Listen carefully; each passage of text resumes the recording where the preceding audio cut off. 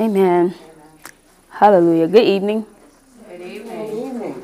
All right, today I want to read from Matthew chapter 19, verse 26, and it reads But Jesus beheld them and said unto them, With man this is impossible, but with God all things are possible. And I just wanted to encourage us on tonight. Minister Hearn has been talking to us about renewing our minds, about spending time with God, about getting silence. And I know sometimes that may seem hard, but with God, all things are possible. What she is saying is doable. And it will strengthen us if we would take heed and we would listen. It will strengthen our lives, it will strengthen our walks, and it will bless us. So I want you guys to be encouraging to know that all things, everything she's saying is possible with God. This is good knowledge, good understanding. Now it's time for us to apply wisdom with God. Amen. Amen. Amen. Let us pray. Father, we thank you. We thank you. You are holy and righteous. And we thank you that you allow us, O King, to be in your presence, O God. I pray, Father God, on tonight, as you're here with us, O God, that Minister Hearn, as she brings forth her word, O Lord, that we would listen, get knowledge and understanding, and then apply wisdom, O God, to our lives, O King, with you. Knowing that all things are possible with you. I pray that we would take this food that she's given to our souls, O King, and it will become reality for us. I pray that we don't show up another Thursday and just say that was a good message or that was a good lesson, but we will take it and apply it to our lives, O God, so that we can see the fruit and the results of what she's teaching. Father God, I pray you will be with her on today as she speaks. Fill her with your spirit of fresh, O King. Allow her words to be yours, O King. And bless her, O God, in her own life, O God, as she not only teaches the word but lives it before us, O Lord, as an example. King, I pray you will be with her, O God. You will continue to strengthen her, O King, and allow her to stand in this position, O God. May you be with us, O King, as we listen. May we take it, O Lord, and apply it. And may you be satisfied, O God, with our lives, O King. In Jesus' name we do pray. Amen. Amen.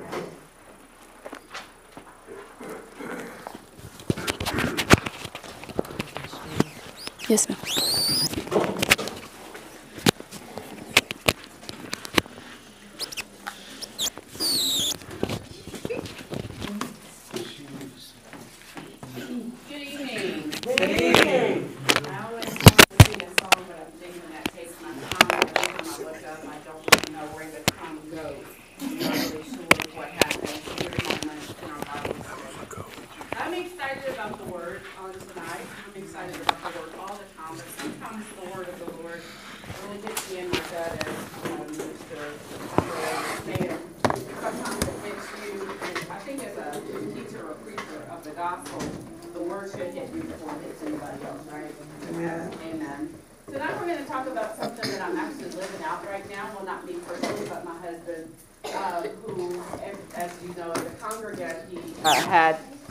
Removed from both of his eyes. And in this passage of scripture on tonight, we're going to look in um, Luke 24, and we're going to see people who were spiritually blinded until the Lord opened their eyes. Amen. Uh, let me preface also by saying you will see this again on Sunday. And there's an announcement in the back. If you want to get ahead of me, we're going to begin a study in the book of Daniel starting next week. It's such a delicious book. I mean, that's soul food for real. And uh, we, we, when we were women at E-Ball, uh, started that. How many of y'all remember Daniel when we went through it? Okay, that's all right. That's good. That means it'll be fresh. It'll be right fresh too. Um, so we're going to start.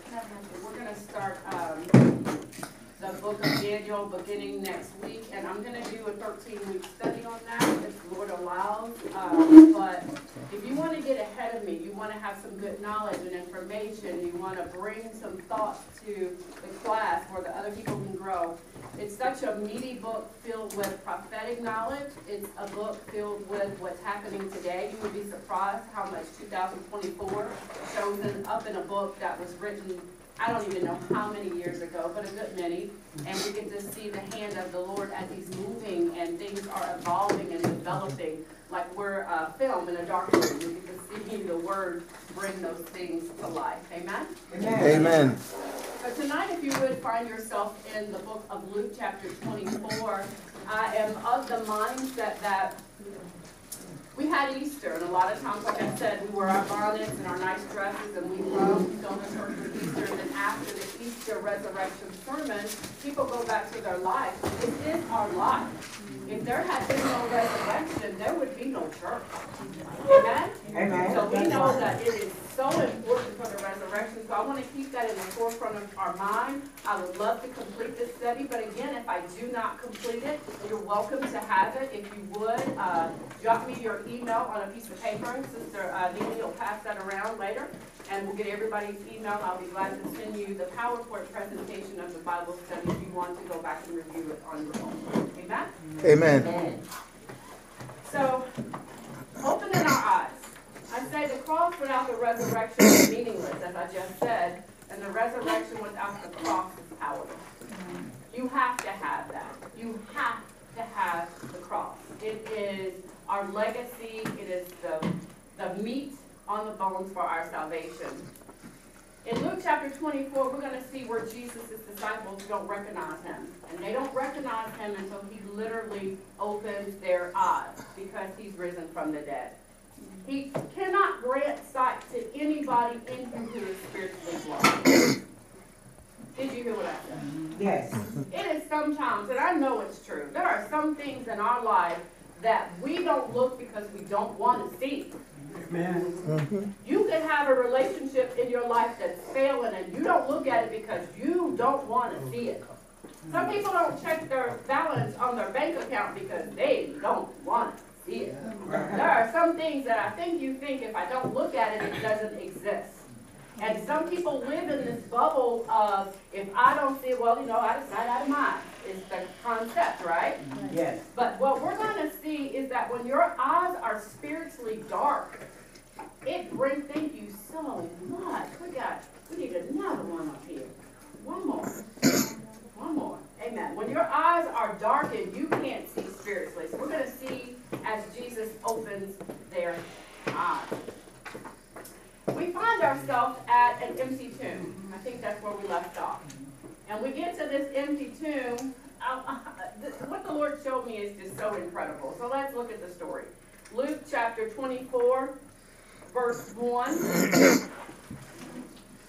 Now, upon the first day of the week, very early in the morning, they came upon the sepulchre, bringing the spices which they had prepared, and certain others with them. And they found the stone rolled away from the sepulchre. And they entered in and found not the body of the Lord. Found not the body of the Lord. Mm-hmm. And it came to pass that they were much perplexed. Why they were much perplexed. But they were. Thereabout, behold, two men stood in shining garments. And as they were afraid, they bowed down their faces to the earth, and they said unto them, He said, Why are you seeking the living among the dead? He's not here, but is risen. Remember, somebody say, Remember. Remember. How we spake unto you when he was yet in Galilee, saying, The Son of Man must be delivered into the hands of sinful men, and be crucified, and the third day rise again. 8 says, And they remember his words. Y'all see that? Yes. Now, if you go back and look at the account in Luke chapter 18, which is, which is some days before this actual account, it says, Luke 18, 31, 34 says, this is Jesus, and we're going to Jerusalem, and everything that is written by the prophets about the Son of Man will be fulfilled. He will be handed over to the Gentiles. Who are we? The Gentiles. They will mock him, insult him, spit on him. They will flog him for young people means that just means they're gonna beat him real bad, and kill him. And on the third day he will rise again. This is foretold in Luke chapter 18 mm-hmm. as it appears in Luke chapter 24. I wanted to also show you these accounts in other gospels as we started this study by my doing. Matthew chapter 28, the women go to the well, they go to, I'm sorry, the grave, and they see that the tomb is empty. That's Mary Magdalene and her companions. Now, I told you guys on last week that Jesus had seventy other disciples than the ones that we commonly name. right? Yes. We mm-hmm. commonly mm-hmm. name the twelve, but we rarely talk about the seventy and us now, the disciples mm-hmm. today. Um, but that, they came to the tomb, Mary and a few other them other disciples, that's in Matthew, and Jesus appears to the women in Matthew. He doesn't appear to the women here in the book of Luke. When we look at them going to the well, remember I said that they went down, verse, what is that? Verse one. Mm-hmm. Says they prepared spices. Now hear me say this clearly. This hit me in my gut when the Lord showed it to me. Now the main reason that they prepared spices for the dead is so they could control the smell of decomposition. Mm-hmm. Right? Mm-hmm. The Jews didn't practice embalming. They, they Right. used spices as a way to minimize the unpleasant smell. And I gave you the example from Lazarus when Jesus went to raise him from the dead. She said by now it, she said it's fitting. Because it had been four days and a body's decomposition is pretty rapid. So she knew once you roll that stone away, that smell of death is going to come out. Hit you So on the the face. spices that the women brought to the tomb was intended to eliminate the odor of the dead. Who's with me before I even get there? Amen. Now, they brought spices to a dead body. But we just read in Luke chapter 18 what? He said that I will be killed. I'm getting up. I'm not going to be there. Yes. But they brought spices. Come on, somebody. Somebody, somebody called it. The fact that the woman brought the spices, uh-huh, to a dead body shows me that they did not expect Jesus to have literally risen from the dead. But if They, they came to make a fragrant body. Mm-hmm. The women traveled this weekend early on the Sunday morning, and their plans were to do as they had always done to every other dead body. Mm-hmm. Let's make it presentable and smell for the dead body that's still remaining. Come on, mm-hmm. somebody, who's with me? Amen. Hallelujah. Go ahead. Go ahead. Yeah, but if you read the story, when he talked about dying and resurrection, the women wasn't there. He was talking to the 12, 12 disciples. So the women didn't know until they got to the tomb and talked to the angels and found out what had happened. They didn't know. The women didn't know. They didn't know that Jesus was going to rise. No. No, they didn't. If you read the story, They wasn't present when Jesus. He wasn't, they wasn't present when he talked about his resurrection, but his twelve disciples was, they just didn't tell nobody. That's what I'm saying, miscommunication. Okay, go ahead. I'm A sorry. question, I just had to get that out, because that was about to get my last, a, a question. Uh-huh. We'll, Um, we'll, we'll, we'll come back to it. Go ahead. Um, If you read that, that text, it said that Jesus told them a whole lot of things, but he also just didn't tell the disciples only. He told crowds of people Yes. that what was gonna befall him. And, and, and, um, the angels wouldn't have said that to them, that don't you remember what he said? Yes. If, if, if they hadn't heard it. I just don't, I still. Amen. Let, let's, let's move on. We'll come back. We'll, we'll circle back to it. That's a good conversation. I know, right? A meeting conversation. Now, what can we make of this question that they're asking, that the angel asked? He asked them the question, why seek ye the living among the dead? Mm-hmm. And I was telling Pastor Hearn this the week. Jesus never really answered a question straight out. You ask him a question and he would just ask you a question. Mm-hmm. I tried that. It doesn't work for me so well. If I ask people a question, people ask you a question with a question because they want you to further dialogue with them. Mm-hmm. They want to see what you know, and I believe that's what Jesus was doing. He, resto- he responded by throwing questions right back to them, and I don't believe it was meant to frustrate them. It was more of an opportunity for them to rethink, regroup. What, what is it that you're thinking about? And sometimes it's like, sometimes Andrea gets up to encourage us, and she says, we need to. And the- if I say, what would happen if? That makes you look at it differently. What would happen if you took the word and you went out and lived it? Now, that's different than you need to do it. Because it puts it back in your corner to say, you know what? I do need it. That's good. That's right. So he was asking them a question so that they would rethink about what had been previously said. So these angels question invites these women to understand that by raising Jesus from the dead, God has announced that Jesus really is the true king because if they didn't know that Jesus was going to rise from the dead, it wouldn't mean so much to them. That's right. Amen? Mm-hmm. Right. But in our doubt and unbelief, and we're going to talk about that a little bit too, we sometimes can know a thing about Jesus. You can find mm-hmm. yourself in this passage. You can know a thing about Jesus and still believe something totally different. Come on. Mm-hmm. So we must be mindful to always remember God's word. So I'm going to park here before I go into more into the lesson. What is it that God told you last? I don't want you to say it out loud. I want you to think about it. It's more of a rhetorical question. I want you to think about the thing that God's word has said to you. Maybe your Christian experience doesn't really allude to that. Maybe you're walking with the Lord and you still feel like you did last month. You don't really see a change, but there's something that the Lord keeps telling something in you that makes you keep going when you want to quit. There's something in you that says, I don't know about everything, but the little that I do know, I think I want to I want more of that, maybe. You don't really know, but you know that there's something more that you want. What is it that God is asking you, his child, to remember tonight? Because there's so many things. It's like this lesson and the one before after. There's no way you could remember what every lesson we've had since the beginning of 2024. But what is it that the Father is asking you personally to remember? Mm-hmm. Write that down if you're taking notes. Because maybe he told you and you forgot, and he's trying to get you to remember again, like he's doing these ladies. It was powerful information that he had raised from the dead. It was powerful, like Pastor Welch had said, that they needed to remember these things. But in that moment, in the middle of grief and turmoil and life and problems and stress and money issues and all the things, sometimes we don't quite remember. That's true. He's asking us. So I don't know what it is you're writing down. But I want you to just not write it down for the sake of being in class tonight. I want you to go back and really ask the Holy Spirit, which He will do, help me remember. Amen? Amen. Let's move on. This is a good lesson. Let me go back. I didn't get excited. All right. He asked them, Why do you seek the living among the dead? He's not here.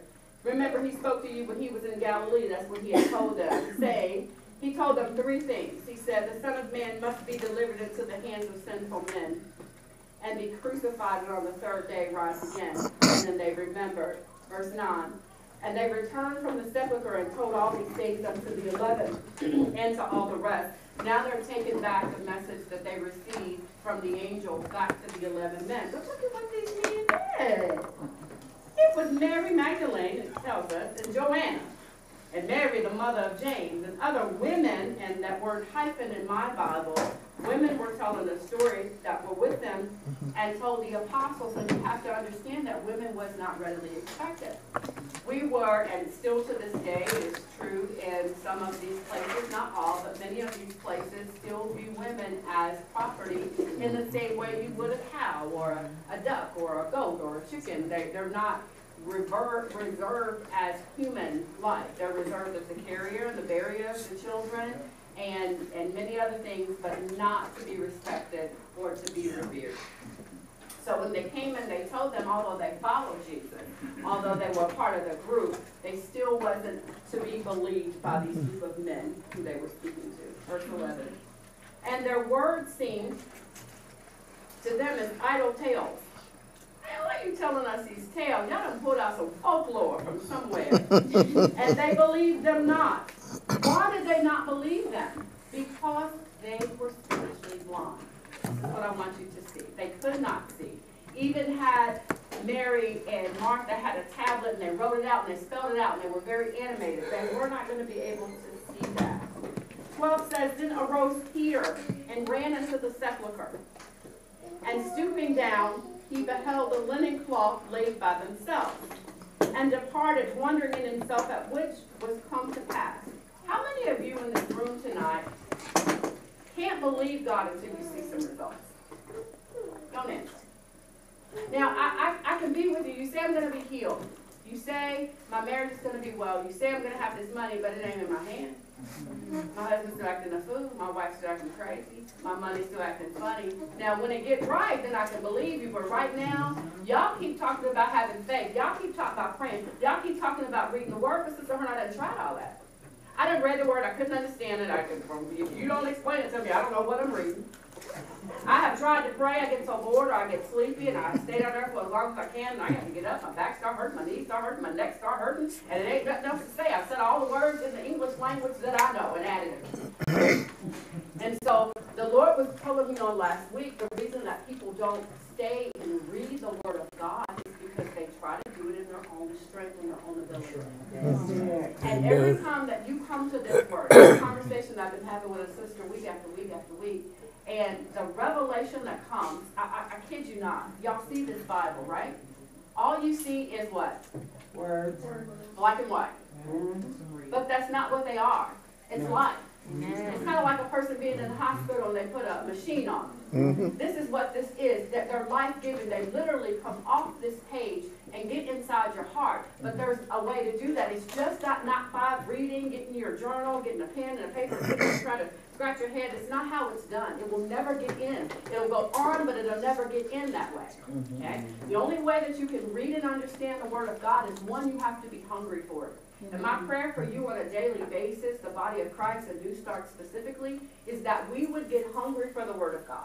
That we would not, we could not wait. Oh, what time? I'm not gonna get there at seven. I gotta get there at six thirty. I gotta get this Word that our hunger, our bellies would be so mm-hmm. empty, and we would want to be filled. And we would come in mm, so full when we come in that we couldn't even get to our seat good. We're not talking about how good the food is and what you did this week. We're so full of the Word that when I encounter Mona, Mona's giving me Word.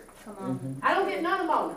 I don't get none of uh, Pastor. I don't get none of Max. I don't get none of Scott. When I go to them, you can tell how a person spends their time based on their conversation. And when you talk to somebody and the word keeps vomiting out of their mouth, you either going to be like, okay, I ain't going to talk to them, but I want to talk about something else. Yeah, talk about how much salt you put in them potatoes. If that's not where you are and you're not ready to adjust it, I can tell because I'm a talker, Pastor said. But if you sit down with me for a while, some point we're going to the word. That's right. We're going there. At some point, that's where this conversation is gonna go. I may sit back and quiet, but I got in my mind, I wanna know what you know about the scripture, because I don't have it all. Yes? But God may be revealing something to Elizabeth that he hadn't showed me yet. And when I talk to her, the truth inside of her, it's like the baby in Elizabeth's belly, literally, wow, jumped because Jesus had encountered him in Mary's belly.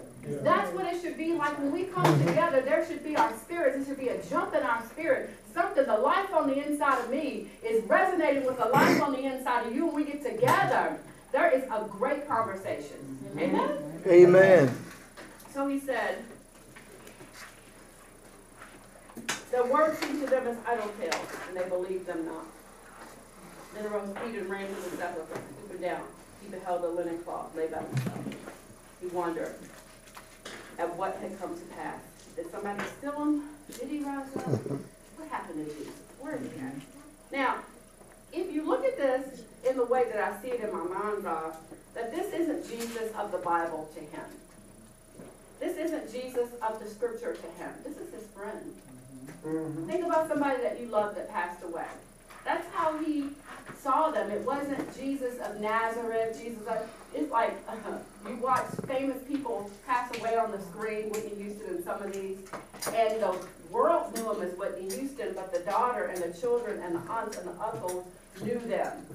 And that's how I believe he was feeling. I knew him. He wasn't the, the, the savior the, uh, to the world. He was my savior.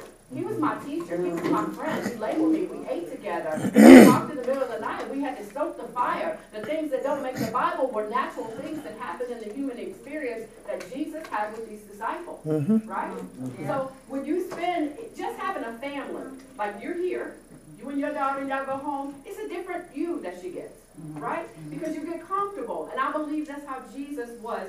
Still not so comfortable with them that they did not recognize that's the Son of God. Yes. Hallelujah. Amen. Yeah. 13 says, And behold, two of them, the same day to a village called Emmaus, which was from Jerusalem, about three score furlongs. And they talked together. These are two men. They don't tell us their names right away, but they're going to tell us the name of one of them. All of these things which had happened, and it came to pass that while they were communed together and reasoned, Jesus himself drew near and went with them. 16, what does it say? But their But But they kept from recognizing him. Their eyes were closed. Now, this is, this is, this is the problem that I have in our worship experience. There are many times that the Holy Spirit comes in the room. Mm-hmm. But there are many times that emotions fill the room. Mm-hmm. Amen. Amen. There are many times that the service is not filled with the Holy Spirit, and I have learned from being in, in, in the body of Christ, I'm saying the church because I am it, but I've been in the body of Christ for years, and I have seen where emotionalism takes the service and propels it into another emotional realm. Mm-hmm. People are so interested in feeling something that they care not if Jesus doesn't come in. They care not if the Holy Spirit doesn't come in mm-hmm. because they have their agenda. We're going to have this, this, this, and this, and this, and this, and she's going to sing, and she's a really good singer. Oh, and I just cry every time she sings. Not the Holy Spirit, but music has power. Mm-hmm. Music, oh, music has power. This is something that the Lord was telling me the other day. Have you ever listened to a song's lyrics? How many of you pay attention Yeah, to the lyrics? How many of pay Yeah. attention to the beat? Now, I, I, don't, the lyrics, yeah. And so what the Lord told me, I just showed you guys that these are words, right? Mm-hmm. So there are many, there are many, there are many, there are many artists right now mm-hmm. who write songs under demonic influence. Right. They write songs, and if you listen to some of the lyrics, especially some of this that's coming out now, they, they're got, they've gotten so bold to even denounce God in the lyrics. Mm-hmm. They've gotten so bold, it's not even about sexual content like it used to be. Mm-hmm. Right. Now they're talking about God and the God. There's a new mm-hmm. movie out called Clarence, Yes. and it is so anti-God. They said that they got in a room and they wrote the movie and they heard voices, and when they heard voices, it helped them write the movie all the way through. There is demonic forces in the music through the words because every song has words, and that's why it matters what we sing in worship. It Yes. matters what we pray. and mm-hmm. that is what we read because the Bible says that words have power. So if words have power to influence a people, the songs and, in some of the songs you might even love. But if you listen to the lyrics by Boosie and some of these artists, if you really take time to listen to them, you're thinking they're actually talking about suicide, death, mm-hmm. killing, mm-hmm. all the things that the enemy loves. Because he is the God of this world. He has access to it. He's supposed to do what he do in this realm. And he is passing out cash bags. You call me, I, I'm, I'm all in my bag is what the young people say. I'm trying to get in my bag, I'm all in my bag, or whatever it is, the bag is somewhere. and what they're saying is they're trying to make so much money, just make money and Yeah. make money and make money and make money. And the enemy is allowing them to make it. He's allowing them to catch every dollar that falls. So you got, me and Pastor was talking about this. You get a camera and a microphone, you put a video up, you got people called influencers, and they spend hours mm-hmm. tweaking and editing, tweaking and editing, so that they can get paid for the content that they create to put out into the world. So the enemy starts giving them ideas. So while you're creating content, and while you're getting dollars from the world, you're getting further away from a God who loves you. That's right. And that's why I got a problem. I love that we have the camera where the word can go out, but I always ask the question, Malia, why am I here? I watched the service, hallelujah. I watched the service online, and the camera was all up in the lady's face, and she was getting delivered. And it, for them, it was a, a reel, it was a highlight, it was a moment. They put music behind it, and animation, and people were watching these people get delivered. I came up in a time where it wasn't no such a thing. That's right. I know You were on the altar, slaughtering, crying, you know, crawling, whatever you had to do because you really wanted Jesus. There wasn't nobody to catch your hands lifted. Mm-hmm. But we're in a society where everybody want to see, everybody want to name, everybody want to mm-hmm. like. And I told Pastor Hearn, every like you get is like a form of worship. Mm-hmm. I'm not saying that the camera don't do what it's supposed to do, but you always have to look at the heart of the thing. Yes. He says that men look at the outward appearance. They look at, oh, yeah, 25 people watch. What is that, 2,000 people? Oh, we got a lot of viewers today. Why do we want them to watch? Are we after souls or are we after money? Come on. Yes. Come on. And that's the that's question right. that Daddy poses to me. That's right. So he said that their eyes were blinded, and so many people in this world, these artists that are creating this music, they have no idea. They're in a trance. I watched a mm-hmm. video the other day about a guy who said he smokes weed. And he said, every time I smoke weed, I know I'm under a trance and I can feel it. He said, because when I open weed, my eyes be open then when I'm high. But he said, this day my eyes was open and I saw some things I don't think I was supposed to see. Mm-hmm. He said, I was dancing and couldn't stop dancing. It was uncontrollable for me. He said, every time you get high, what do they call liquor? Spirits. Say it again. Spirits. So why do you think they call it that? Because it's being Because you come out of whomever you are. Some people feel like they need it. I need this liquid courage because, you know, I'm not good in public, I'm not good in settings. I get so nervous and it just calms me down. And the enemy sells you so many lies to smoke or to mm-hmm. drink or to do the things because he knows that he puts handcuffs on you that Come you on. can't get out of. All right, come on now. Sin has a way of taking you farther than you wanted to go and keeping you longer Longer than than what, you wanted- what, what, than you wanted wanted to to stay. stay. And then when addiction and you're bound by it and you don't know how to get free and you don't tell this, not something we tell in the church. We mm-hmm. present our best self in the church, Debbie. Mm. We show ourselves with our best clothes on, best makeup, best hair. We good. We I look good and I feel good. Amen. Mm-hmm. Hallelujah. Praise the Lord. And you know you tore up. You know you're Some- bound by addiction. Yes. You're bound by relationship. You know you want somebody, you can't get somebody, and so you feel less than, and all these things go through your mind. You come to church, you feel good. You go out, you feel depressed and suicidal, and the enemy keeps you in this cycle where you feel like you can't get free. And the church folks is doing the same thing. You don't know who's really going through and who's being their authentic self. Mm-hmm. All you know is that you ain't gonna tell nobody because ain't nobody else telling, and so I'll just suffer inside. Mm-hmm. And that's a lot from the enemy. Mm-hmm. It's a lot from the enemy. But once your eyes get open, once your eyes get open, you don't care who says. That's right. Mm-hmm. Mm-hmm. If- Mhm. Come on now. If, if your heart stopped in this room tonight, and the ambulance came right now, would nobody, would nobody get undignified? We keep all our buttons up and our zippers up and we'd be fine. But if your heart stopped tonight and the ambulance had to come in here to resuscitate you, you could care less who saw. That's right. Mm-hmm. All you saying is save my life. That's right. And that's how we have to be. We have to be open. And I know we gotta do that better as the body of Christ. We gotta do better as the body of Christ. That's the one thing I can say about NA or, or, or AA or any of those groups, is there is a transparency in those groups. I had to go during my courses in college to some of those groups. And they have, it's almost like church in a sense. I mean, they have a speaker, they have offering, they have people giving testimony. Mm-hmm. It's a whole service, mm-hmm. really. Mm-hmm. The difference is they use profanity, and the people in the church would use it, they would use it too, amen, they tell the world. I just call it hamburger. But it's such a rawness and a realness that you can't negate. You cannot negate that these people are giving you their best. And what I like about them is they understand, we all like this. I ain't got put on for you, you ain't got put on for me, I was drinking high that time, I made it through, It's like, oh, that's good you made it through, because I was there a couple of days ago. Right. If we were like that as the body of Christ, more people would get help. But we got too many people trying to be way up high in the sky and high. I'm super saved. I'm not just saved. Mm-mm. I'm super saved. If all of you peasants would come up here with me, then it would be better.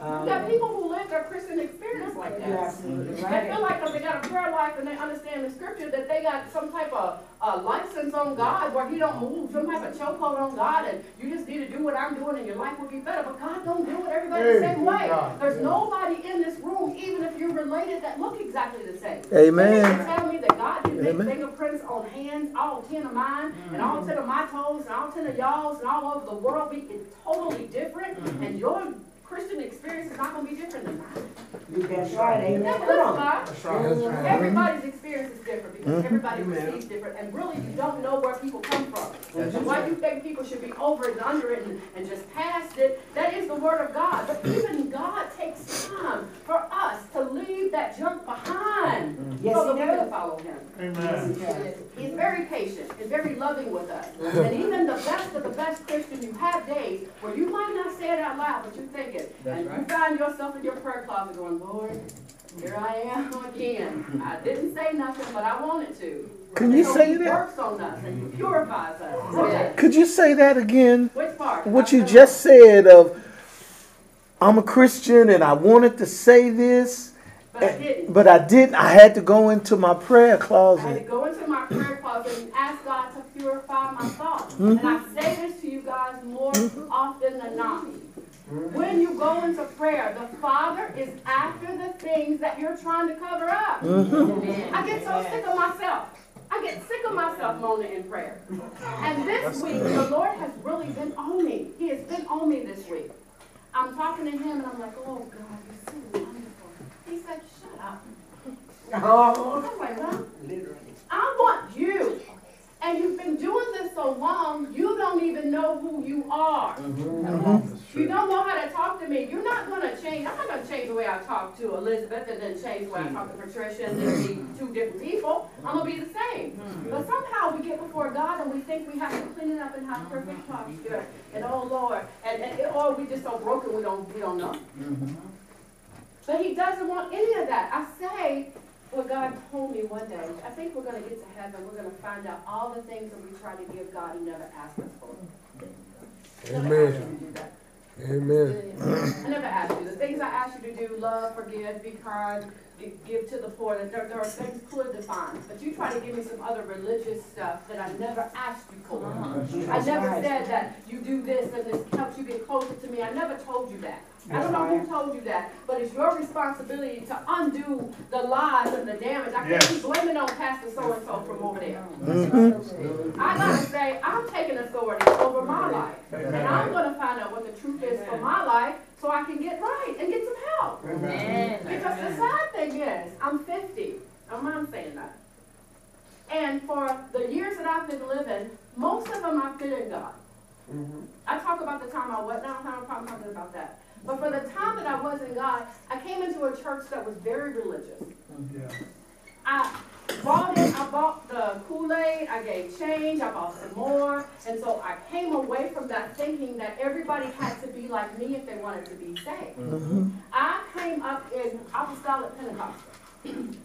So if you had on what I got on tonight, leggings or earrings or a necklace or fingernail polish or any lipstick, eyelash, any of that, honey, you was, you was definitely going to get Yeah, You yeah. bought yourself a ticket because the way I was raised, our skirts had to touch our ankle bone. A man wasn't supposed to see your ankle bone. He could barely see your toes. But we couldn't wear sandals. I, I, I'm making it funny, but it's true. We couldn't wear sandals, we couldn't wear shoes with the heels out or the toes out, and God forbid you paint a toe. Mm-hmm. We had to go to foot washing every year. There was some sisters in there, my Lord and my God, we couldn't have sanded the walls with what we were presented with. You know, but it, but it, it, in the day that I grew up in apostolic Pentecostal, the philosophy, the mindset was the poorer you were, the closer you were with God. You were humble if you didn't have a lot, and if you were, you know, just lived meagerly, and you barely had a cup of water, and a piece of bread, straight to God, he'll take care of you. We didn't go to the doctor, because Not we yet, felt but- like, you know, even though God gave me knowledge, God will heal us. So I had people in my family, and people in the church down with cancer and lupus and things that they could have been cured of, wouldn't take any medicine. I'm not, I'm not advocating for any of those things. I'm showing you that you get in a religious mindset. Yeah. And you don't ask God any different, and so you go years and years and years and years in the wrong mindset. You have to make the decision, it starts with me. Yes. Or you keep believing the lie. Amen. Amen? Amen. Amen. Not my lesson, but that was, that was. All right, so they're going down this road.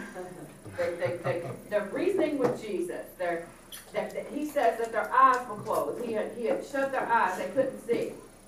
And he said to them, uh, two men, I get ahead of myself. You know I get excited. Sometimes say, come on, Max. Come on, Pastor. So these two men are walking seven miles.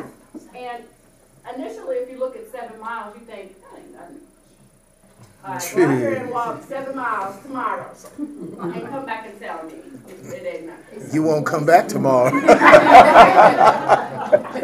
So in today's terms. It'd be 14 seven- miles. Seven miles equates to two hours. And Yeah. They're going to Emmaus. It doesn't tell us why mm-hmm. they're going to Emmaus. There's no other thing I can pull from water onto a man, but I know that this is the weekend of Jesus' death, and they walking and they upset about it. Jesus died, they don't know where he's at. And I, I believe, just me personally, because it said others with them, that these were of the seventy disciples that were with Jesus. Mm-hmm. So they're talking about the death of Jesus that it just happened the weekend, and it names one of them for us, and gives us the name Cleophas. That's the only name it gives us. It's the other one, I don't know who he is, but Cleophas name is who he's at.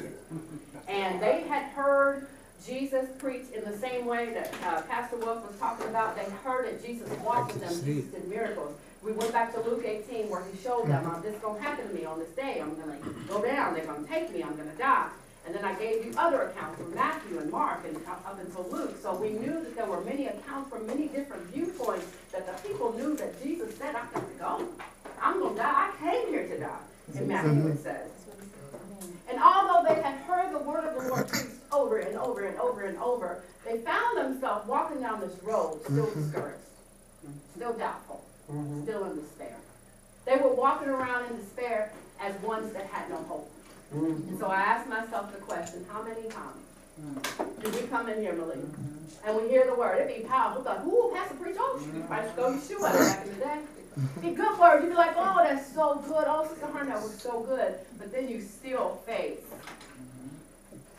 the same level of discouragement, the same hmm. level of doubt, mm-hmm. the same level of despair, as if you have no hope and you don't know that we serve a risen Savior. Amen. I have a problem with our up and downness. Why is it? Why? Why? Why is it that Christ has to prove himself to us so many mm-hmm. times? I don't know of any other person that I am in relationship with that I would have to keep proving I can make the cheesecake. Can you? Can you make it? Can you? She said to her, please, I really want you to make it. Can you make it? I can make it. I got you. I'll do it. But can you please will you make it? I got the cheese and the butter and the stuff in my hand. I'm headed to the kitchen and you're begging me to do something I told you I would do. And this is what we do to our Lord. He heals our family members. He heals our body. Come on. And, and we good. That's on Monday. Thursday, something else happened. Maybe the tar, flat on the car. Oh Lord. And we say, Oh Lord, where are you? I just showed up on Monday. Where do you think I went from Monday to Thursday? He's not a God that has to speak and prove anything to us. That's right. He doesn't have to speak Monday, Tuesday, Wednesday, or Friday. He can speak on Monday. He could have spoke Monday in 2022, and maybe you haven't done that yet. Mm. Uh-oh, uh-oh. Mm. That, that right there. Maybe hmm? the thing that he told you to do Glory years ago, you done put something else on it because you think that he's a genie in the bottle. You think he's the type of God that you can create a laundry list for and say, God, I want this, I want this, I want this, I want this, and I ain't gonna do that till you do this. And Lord, I'll fast if you do this. Lord, I'll pray if you do this. And we pray, we end our prayers, and God will be careful to give you the glory. No, we ain't going back to give God no glory. Mm-hmm. It has become rhetoric and the way we pray. If you're gonna give God the glory, give it to him now. That's right. And so we, we make this laundry list, Lord, if you do this, I'll do this, I'll do this, but I'm definitely getting this, I'm definitely getting the kid, I'm definitely getting the house, I'm definitely getting the car, I'm definitely getting those things from you, oh God, if you, if your will. But we've already made up in our mind to get it. We've already signed on the dotted line to go in debt to get it, and then pray after the fact, Lord, if it be your will. It's too late then. And then wonder why we have a hard time paying the payment and keeping it up, because. Come on now, yeah. Plan. We didn't seek his advice of what first we had. before. And so we asked God, look, Lord, um, if you would bless, you don't have to ask God if he would bless you. You don't have to beg God. That breaks my heart, Elizabeth, when I hear people bragging, begging, begging God to do something he said he would do. Lay it at the altar, pray about it. Hallelujah. Hallelujah. Press on. So we come in, we go out, still discouraged, still doubtful, still don't know if God will do it, don't know if he will do it, if he want to do it. God- Is it, is it, is it God's will if you get sick to heal you? Yes, Now I want to hear. it. yes. You say yes. I say yes. So why do we pray if it be your will? Because the situation start looking worse. Situation start looking worse. We go in the hospital, we pray for these folks, and, and clearly death is all over them. And we mm-hmm. go in to give some type of sympathetic prayer, we end up with, Lord, if it be your will, you know the end from the beginning. Either you're gonna have Take faith or not. Mm-hmm. Either you're gonna stand on his word or not. I, I mm-hmm. know for sure, I know this for sure, I don't know nothing else. If a person is in Christ Jesus and they leave this life, they're much better off Praise we the are. Lord. Amen. They may not not know that yet. They may be thinking of all the things they have to leave behind. But once they get over there, Come on. they're not They thinking are about you. not thinking about us. I don't want to come back. I ain't coming back. Think about you. I had looked at, I've watched several videos where I looked at people going to hell because that interests me. That interests me that people go to hell every day. It interests me because we, church, we sit here and we get fat, we sit back, ooh, we belch and, ooh, that was good, Sister Hart, give me some more, what else you got, that was so good. We get full, spiritually full off the word of mm-hmm. God. And we don't go out and do anything with it. Meanwhile, there's somebody right now at seven forty-five who is opening up their eyes in hell. Trying to say, oh my God, oh wow, I thought I was gangbanging, I thought I was something, this is hell, I don't want to be here. And they know that I'm here and I can't get out. Mm-hmm. That's right. They know that. Mm. And so, seven forty-five, babies are opening up their eyes in heaven. Babies who we watch on the news, at ten o'clock, this child was abducted or molested or whatever. That mm-hmm. child passed away, they went straight to heaven. And they mm-hmm. way better off than we are here. It doesn't make it mm-hmm. right. And the Bible says, at the beginning, when they got the knowledge of good and evil, all those things and more are gonna come from that tree. Yes. Mhm. Amen. Amen. Amen. So. Thank you, Lord. Let me get back, let me get back, and I'll go somewhere else. How do we protect ourselves from doubt? The best way, I say it every week, but the best way for you and I to protect ourselves from doubt, it is not fantastical. It is not elaborate. I'm not gonna say something different, that's, it's not gonna be a one-two punch and then you're there. The only way to do it is to read the word. Mm-hmm. That's it. That's all I have to offer you. The apostle Paul said, so then faith comes by hearing and hearing by the word of God. So if a person's eyes are not open and they can't see, and then their ears aren't open where they can't hear, I saw something, and I should have put it up here, but I didn't.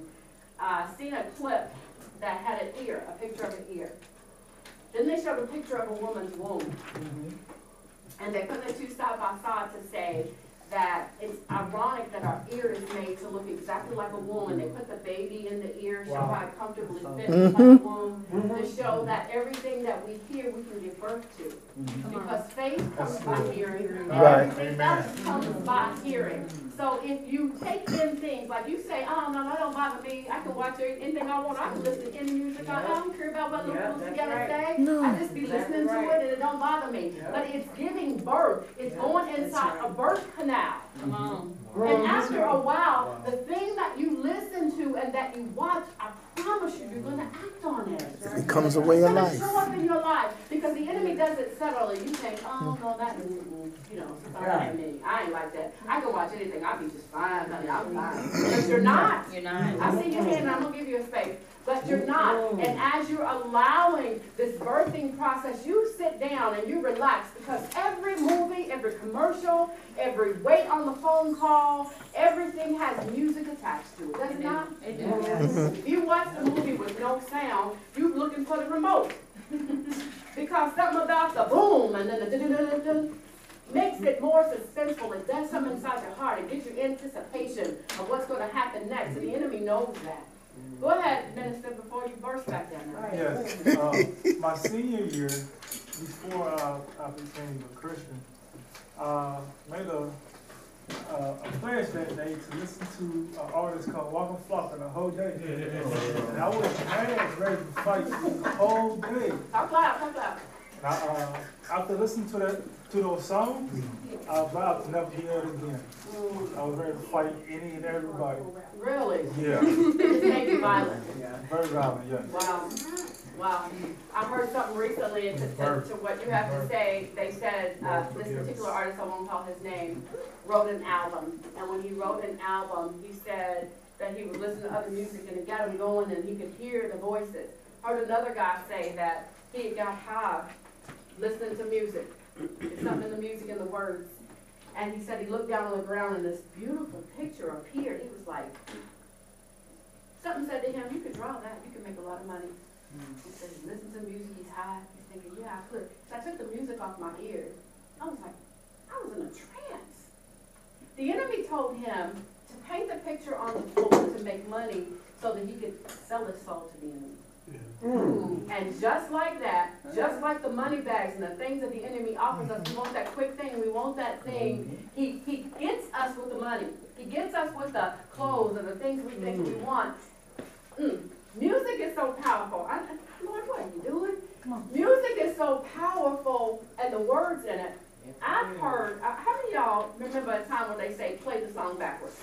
Yes. And when you play the song backwards, you heard chants, you heard actual words, you heard things that were clear forward, that wasn't clear forward, but were very clear Backwards. And I'm listening to it like, this is real. And so for all these artists up and coming, you tell me one artist up and coming, that even young people, tell me one artist up and coming that's not drenched in some type of demonic activity. Mm. Whether it's their clothes, their costumes, because you know, I used to say when I go out, we put on what? My makeup and all that stuff, put on our mm-hmm. costumes. Mm-hmm. And then we go into an environment where it's promiscuous, we look at the something, some baddies, we're trying to get, you know, we're trying to see. And so you go into an environment laced with, uh, uh, spirits, so you put on the costume, you went to the environment, and then you ingest some type of liquid or some type of smoke, and then you put yourself, you're consuming this environment. And so when you listen to the music and these lyrics, I, I, I can name several, but I won't. The spirits online. come But there are several upcoming artists right now that if you look at the award shows, they're getting worse and worse and worse. There's no type of depression they don't care anymore. There are full ceremonial things happening. They've introduced horses and blood and they say devil and red eyes and it's just getting worse. And I think some of even the young people look at it and go, that's weird. I like the song. And that's how they keep them in trance, they keep them in because they don't recognize that they're signing up for something settled. The enemy knows, he mm-hmm. knows, he knows. Power he knows, suggestion. He knows, he knows. So the faith comes by hearing. So I said all that to say, watch what you listen to, young and old. Watch what you listen to. Not only watch what you listen to, but watch the words that come out of your own mouth. Yes. Amen. Amen. Because the words that come out of your own mouth have the power to help you or to hurt you. Yes. Amen. All the time. And whatever you say out of your mouth, the Bible says that what you say, you can eat the fruit thereof. Whatever you say, you say to this mountain, move, be cat. You say. Mm-hmm. Remember the fig tree Yeah. that Jesus cursed? He did it on a word. Words are extremely powerful. Yes. So the more time we spend in God's word, the stronger our faith is going to become. The less susceptible we are to Satan's attacks. But mm-hmm. guys, hear me say this again. There's nothing fantastical. There is no easy step. There is no, oh, I'm going to do all that. I'll just listen to it on my phone. You can't do it that way, people of God. I- i- If, if reading is the issue, listen to it there, but then sit and take something away. Don't just say, well, no, I can't, so I won't. No! Find a way to get it in. Mm-hmm. Get it in. Get it in. Because when you get the word in, you don't even know it's happening. But there are things that you face. It may be, it may not be the thing in your life. It may not even be your marriage. It may be that you're getting the word in for somebody else. You didn't even know it in that Yeah. moment. But get it in. Don't don't be a lazy Christian. Yeah. Amen. Don't be a lazy Christian. Amen. Don't wait every week for me to say something to you. Don't wait every week for pastor to say something to you. See what God is saying to you. See what what what He's saying. Because I can promise you, everything that He told me about this, I don't have the time to tell you. I try to grab snippets and I have notebooks and I have this and I try to put what I think is relevant in these PowerPoints, but there's no way you could give all of what God gave you in the download. Right? Right. But that, that's not available for some Christians. It's not like some Christians have access to God while others don't. That's a lie. It's, it's not true that some Christians hear God and say, I don't know if I've ever heard God. You've heard God. You've heard God tell you, don't go down that street. Watch. Don't right. And, and, and you might thought it was you, but because the enemy's never going to tell you to do the right thing. That's right. Come on. That's right. Yeah. He's going to always tell you to do the wrong thing. He ain't gonna never tell you don't lie. That's right. He ain't gonna never tell you don't take another drink. He ain't gonna never tell you don't go over there. He ain't gonna never tell you don't wear that. He ain't gonna never tell you that. He gonna tell you don't you yeah you gonna let you need to let him know. Let him know. Put it down. Let him know. No. He gonna tell you. He gonna tell you. He gonna lie to you. he done lie to you. And, and, and while he's lying to you, and, and you're trying to seduce someone else, I don't know where this is coming from. Come on, in name of Jesus. While you're trying to seduce someone else, there's a spirit assigned to that person you're trying to seduce, and you don't know what you're doing. Mm-hmm. There are what they call seducing spirits, and Pastor and I was watching the video the other night. There are spirits that come into the earth. They come into the earth legally. They don't. They don't come in without by law in this realm. They have access to come into your life because you open the door and you tell them to. Mm-hmm. So if you have dabbled in multiple relationships, if you had dabbled in financial strain, if you had dabbled in lying and all the things that came with you into the body of Christ, and you have not renounced those things and asked God to take them away, you're still dragging them around. Amen. Mm-hmm.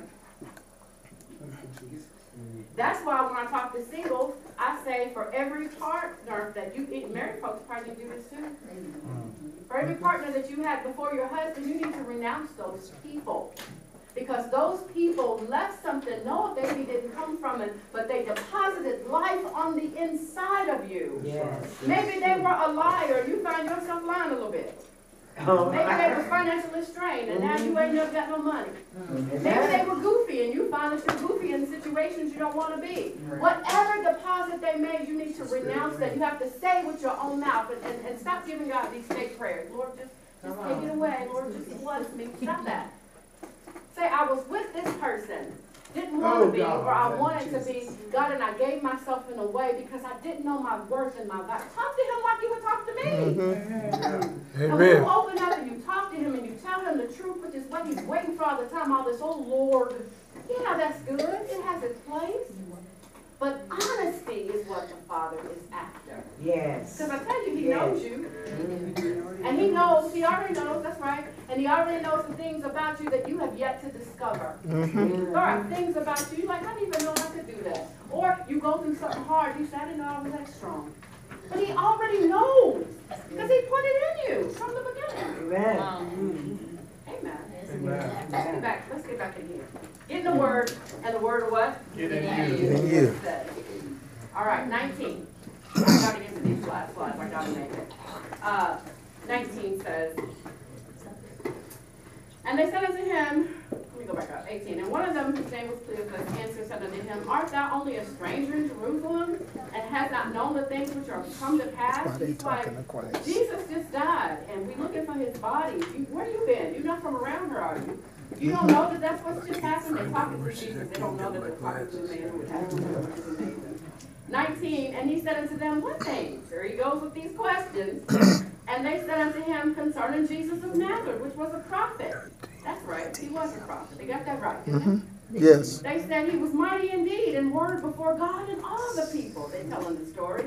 And, and how the chief priests and our rulers delivered him to be condemned to death and crucified him. Ah, imagine Jesus. Mm, mm, mm. And we trusted that had been he which should have redeemed Israel. We, we thought he was the Messiah. And beside all this, today is the third day since these things were done. Now, before I go to the next part, they had a lot of information about him, right? But they missed something very important. That's the thing about getting in God's face. You have a lot of things about him right, but there's so much more that he wants to reveal. So don't be satisfied with what you know. Don't ever get to a place where you've arrived. As long as you're breathing on this side of the dirt, you have, will never have arrived. There is so, God is so, so great, so mass, so big, so powerful, so God, that there's no way that you and I can say, I, I, I understand.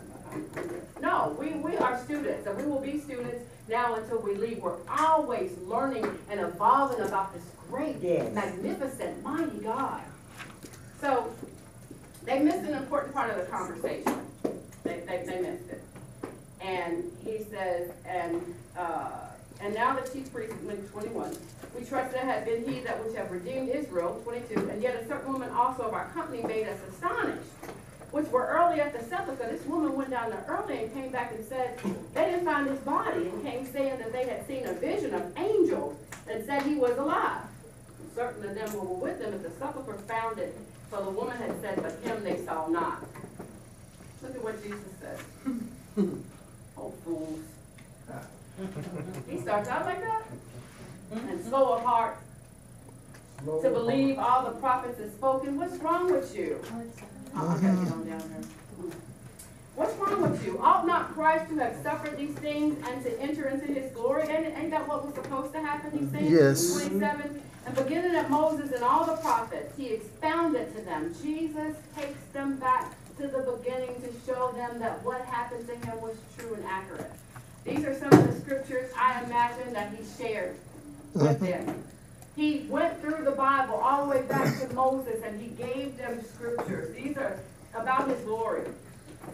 Beginning of Moses 28, and they drew nigh to the village. This is the part. I'm almost, I'm almost at the end. They drew nigh to the village whither they went, and he made as though it would have gone farther. Jesus acted like it was walking together, and they was like, ah, all right, see you later. He was like, okay, see you. Jesus act like he was gonna go further. But they constrained him, saying, Abide with us, for it is toward evening, and the day is far spent. So he went to tarry with them. And it came to pass, he sat at meat with them, and took bread, and blessed it, and brake it, and gave it to them. Now, my question right here was, how you gonna go to somebody else's house and take their food and drink and serve them? You're supposed to be the guest. It wasn't your house. Mm-hmm. You went in and took over. Mm. That's what Jesus do. In somebody's house, if you let him. Thirty-one, and their eyes were open. Uh-oh, that's what I was after. Thirty-one says, and their eyes were open. Their eyes were not open until Jesus gave them the body and the blood. Can y'all mm-hmm. see that? man. Yeah. Their Yes, eyes have been right. closed. They didn't see him. It said that Jesus came, blessed it, and brake it and gave it to him, and their eyes were open, and they knew him, and he vanished out of their sight. So as soon as he saw who they saw him, he was gone. Mm-hmm. And they said one to another, Did not our hearts burn within us while he talked with us by the way? And while he opens up the mm. scripture. And although this is a very familiar passage of scripture, it's as far as some people go. And I don't want you to go that far no more. I don't want you to come and get a good word and say, Did not our hearts burn? But then you don't have no, you don't have no plan of doing nothing with it. Mm, you just wanted to come and get the good word. Mm-hmm. And they rose up the same hour, and returned to Jerusalem, and found the eleven gathered, and them that were with him, saying, The Lord is risen indeed, and has appeared to Simon. And they told what things that were done in the way, and how it was known of them in breaking of bread. And they spake of Jesus himself. He stood in the midst unto them, and said, Peace be unto you. And I tell you, every time Jesus shows up in your situation, he does speak peace. You don't even know that it's peace being spoken over you. You can be going through the darkest hour, but when he shows up, he brings peace. And I don't mean peace where it's serene and you just, oh, I mean, whatever's going on, in, yeah, your spirit gets peace. And again, I say, you say, I don't know how I got through that. It's because the peace of God was over you. It's not the world's peace. I keep saying that. We think peace is soft music, waterfalls, flowing water, everything is No. calm and serene. But that ain't the type of Jesus we serve. Mm-hmm. He ain't never done nothing really calm and serene. Everything he did was a little bit chaotic. And that's why our lives look a little crazy. Because we, we, we, we too quiet sometimes. We a little bit too quiet sometimes. Mm-hmm. But they were terrified and afraid and supposed they had seen the Spirit. Look what he has to do. And he said unto them, Why are you troubled and why do your thoughts arise in your heart? He said, Look at my hands. Imagine when he went to serve them the bread, they saw the hole. They had to. Mhm. He said, Look at it. He said, Handle me, touch me. It's not a spirit, I'm flesh and bone. And we had spoken, he showed them his hands and his feet, and why they believed not for joy. They said, Have you any meat? He's still trying to convince them. And so they gave him a piece of broiled fish and some honeycomb, and he took it and he ate it. I am human. I am a person. Okay? And he said unto them, These are the words that I spoke unto you while I was with you, that all things must be fulfilled, what were written in the law of Moses and the prophets and the Psalms concerning me. Then open he their understanding. He didn't just open their eyes, he opened their understanding. And God, that's important because you can see a thing and not, that's why you find people who are, they, their eyes are open, they're so zealous to do something, but they don't have the understanding. Mm-hmm. That's right. He says, all thy getting is understanding. That's why you have rogue preachers out here. They got a lot of theological knowledge. They, got, they know the Bible. They can teach it way better than I. And, but, and then they don't see the eyes of understanding, so they go. It's something about when God calls us, we think we're supposed to go do something, and when God calls us, Elizabeth, He tells us to come and sit down at His feet and learn. That's the first time you know that God called you, is that you become a student, not a doer. You were made a human being, not a human doing. Amen. Amen. Amen. Forty-six, and he said, um, that Christ would suffer from the dead and be raised on the third day. Forty-seven, in repentance or remission of sins, he should be preached among everyone. He gave them a commission. He didn't just come, open their eyes, open their understanding, but he told them that you have to go out and preach this. You have to be my witnesses, forty-eight. I send you the promise, go out, be endued with power from on high. Don't do anything until the power comes, he says in verse forty-eight. So let me, let me finish this so I can get to my point at eight oh five. Lord, where did the time go, Madison? Where'd it go? Do you have it? She's so cute. All right. This is what I want you to remember. These are the three things I want you to take away from this lesson. If you can't remember all the other stuff that I've said. Jesus is walking on the road to with the two men that's going to Emmaus, right? And I want you to see that Jesus didn't come to a prepared situation. It wasn't after they got their life together. It wasn't when they were in the best of their lives. Jesus came where they were.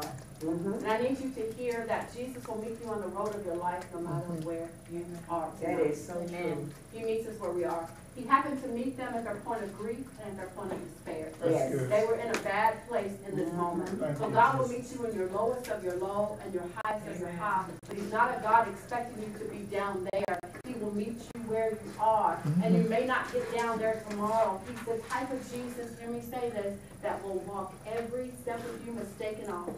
I did good today, not so good tomorrow. But if you don't leave him, you don't forsake him, you stay with him. This Jesus that met you where you are is going to open not only your eyes, but your Mm. understanding to know who he really is. Not the church Jesus that I talked about Mm. before, where you had to have these certain things and look a certain way, but the real him. Yes.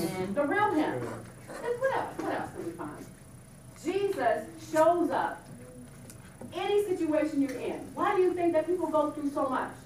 Because when Jesus gets your attention, it's usually doing one of these things or something worse. Mm-hmm. Jesus shows up in people's crisis. He shows up when people's sick. He shows up when there's divorce. He shows up when something bad is happening because otherwise we we so we so busy. We just We busy. don't need him. Oh my, we got a lot to do. I got up at seven. I got a lot to do. I can go to bed. I'm sleepy. I got, I got stuff to do. So we have to show up in the spaces that we allow, and unfortunately, it's through pain that he mm-hmm. really gets our attention. Mm-hmm. So Jesus will show up on the road with you. The other thing I want you to remember is anytime Jesus shows up, he will reveal who he is. He will Yes. reveal his real self. You never have to oh wonder, is he gonna show me who he is? It's what these two men seen. They thought they were talking to somebody else, but they were talking to Jesus. Mm-hmm. When he shows up in your life at, at, at the craziest moment, he's gonna tell you it's me. I got you. Yes. I'm gonna reveal myself to you. Mm. Lastly, this is most important. Jesus acted as if he was going further down the road.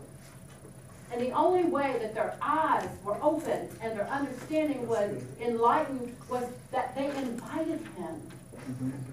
Yes? Mm-hmm. He only comes in our lives by way of invitation, people of God. That's right. He could have kept going and they could have let him keep going down the road, but they stopped and they invited him. Yes. Well, they invited him, What did they invite him to do. They said, come and dine with us. And he w- he came in. Yeah, and because they invited him to come, anytime you invite God into your situation, Mhm. he'll come. Yes.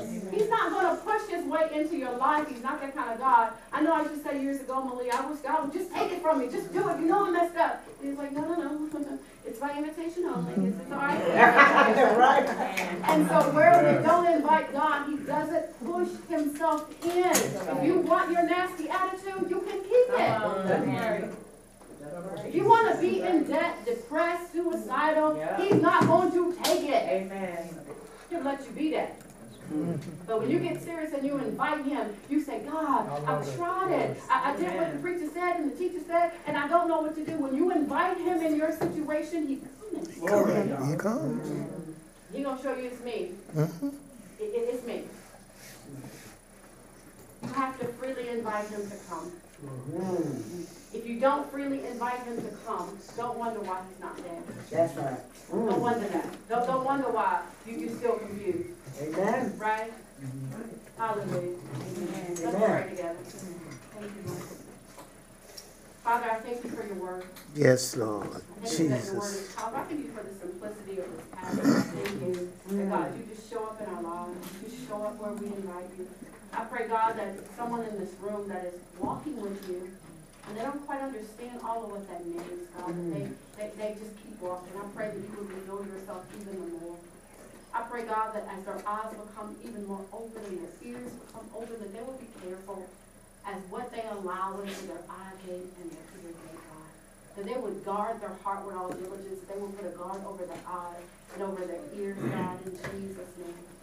I pray, Father, in the name of Jesus, that you would strengthen them for the journey. I pray for everyone under the sound of my voice, God, that you would increase our faith. Not only just of amen this tonight, God, but that it would take root in us, that it would produce fruit that remains, Father. I pray if there's someone watching online that does not know you in the pardon of their sins. I pray, Father, that you would set forth laborers around them. Yes, Tell them the good news of the gospel, God. And that their hearts will be pricked, God, that they would say yes to following you and know that they will come out of the kingdom of darkness into the kingdom of your dear Son. And so I thank you for what you've done in us on tonight. In Jesus' name, Amen. Amen. We love people.